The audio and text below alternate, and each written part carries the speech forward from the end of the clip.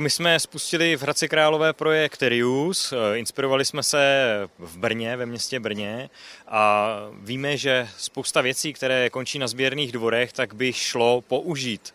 Za symbolickou částku si je bude moci koupit někdo jiný.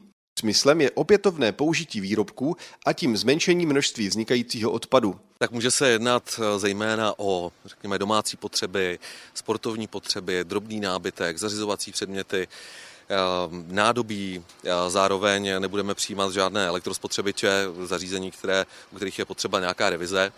Ty symbolické peníze se stanou součástí sbírky a za ně budou nakupovány například dřeviny, květiny a využijí se díky zapojení městských lesů do tohoto projektu.